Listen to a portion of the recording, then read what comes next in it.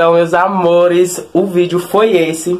Espero que vocês tenham gostado. Se vocês gostou, não esquece de se inscrever aqui no canal, deixar aquele seu like, deixar um comentáriozinho aqui do que você achou dessa transformação. Olha só esse cabelo aqui, ó. Que eu estou com ele. E é isso daí. Então, um beijo. Espero vocês até um próximo vídeo.